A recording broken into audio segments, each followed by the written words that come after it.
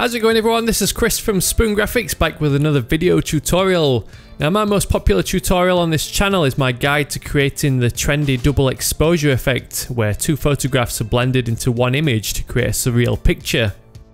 I've since noticed that a new style of double exposure photography is becoming pretty popular where two different coloured images are overlaid to create a similar effect to the 3D anaglyph look or chromatic aberrations which are also known as colour fringing.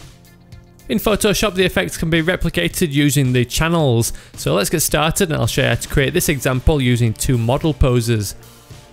To begin you'll need two separate photographs. The common use for this effect is to combine two shots of the same model but in two completely different poses.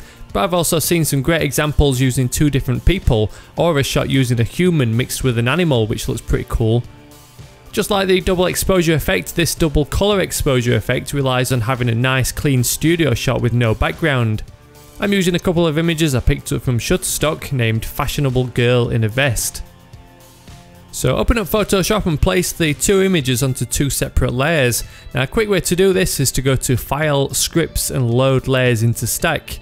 Browse to your files then hit OK, or you could always do it the manual way by copying and pasting from one document to another. The easiest way to alter the channels in Photoshop is through the layer styles. Double click the top layer then turn off and on the three R, G and B checkboxes to toggle between the red, green and blue channels to see the different colour combinations you can achieve. I'm going for a red and cyan effect by unchecking the red channel. Use the shortcut Command and T to transform the image, then move or scale it so the effect allows both images to be individually recognisable while still providing an interesting overlap. Hit the enter key when you're done to apply the change. Now moving this image slightly has caused a slight offset where there's a blank space at the edge. So draw a selection with the marquee tool then press command and T to transform. Stretch it sideways to fill out this empty space. Now that's essentially the effect complete but there's a few finishing touches we can add to enhance the final result. Add a selective colour adjustment layer from the bottom of the layers panel.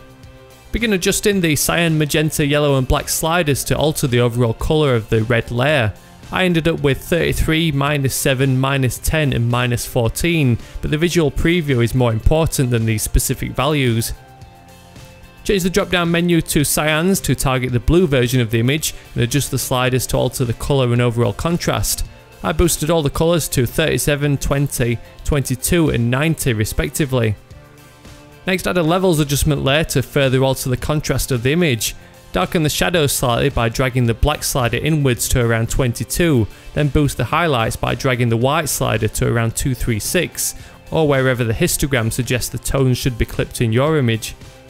Finally, add a colour balance adjustment layer and begin moving the sliders back and forth while watching the live preview to apply some interesting colour grading to the image.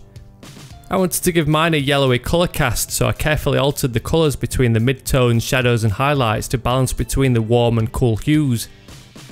The final result is a great alternative to the popular double exposure effect that produces a vibrant double colour exposure instead. It works perfectly when you have two similar looking shots, but combining two totally different photographs can generate some interesting and colourful results.